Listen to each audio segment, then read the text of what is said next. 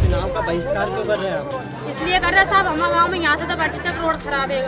चलने की बहुत परेशानी पड़ती बनती नहीं। दस बारह साल पहले बने थे वो रोड टूट गया वो रोड कट जाएगा और उससे दूसरी बात दस बारहवीं तक क्लास नहीं यहाँ पे। बच्चे बच्चे पर गाँव जाए छोटे छोटे बच्चे बच्चे कि हमारे पास सुविधा नहीं है कुछ बात की।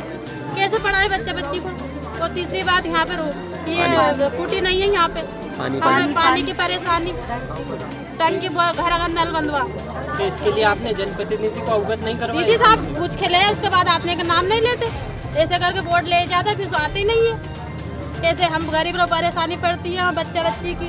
तो पानी नहीं है तालाब में बिल्कुल भी खेती होने सूखती है जब ज़मीन में बिल्कुल नाच पानी अनाज में कुछ नहीं होता है। तो वोट नहीं डालेंगे? हाँ नहीं डाल डालेंगे हम क्यों नहीं डालेंगे? लेकिन हमें सुविधा करो सब डालेंगे वोट नहीं तो किसी को नहीं डालेंगे। हमारा गाँव कई सालों से मतलब हाई स्कूल और गौखेड़ी से बड़झील रोड और चैनपड़ा जो स्टार डैम है, जो कमांड एरिया गौखेड़ी का लगता है वहाँ पे। कई दिनों से मतलब प्रशासन से मांग रख रही है कि पानी हमारे गाँव में आए, लेकिन फिर उसके बाद भी हमारे गाँव में पानी नहीं आ रहा और हाई स्कूल की मांग भी काफ़ी दिनों से प्रशासन से रखी जा रही है, उसके बाद भी प्रशासन ने कोई कदम नहीं उठाया है यहाँ पे। और यहाँ एक रोड है, जो बारिश के दिनों में पूरी तरीके से बंद हो जाता है।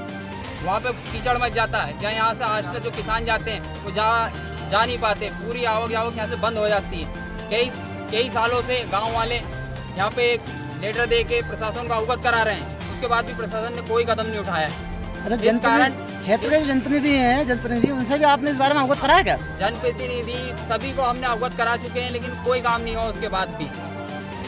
अच्छा अगर आपका अगर ये काम नहीं होता तो आप क्या वोट नहीं करेंगे? हाँ हम इसलिए चुनाव सारा गाँव सम्मिलित। होकर मिलकर हमने निर्णय लिया है कि हम चुनाव का बहिष्कार करेंगे।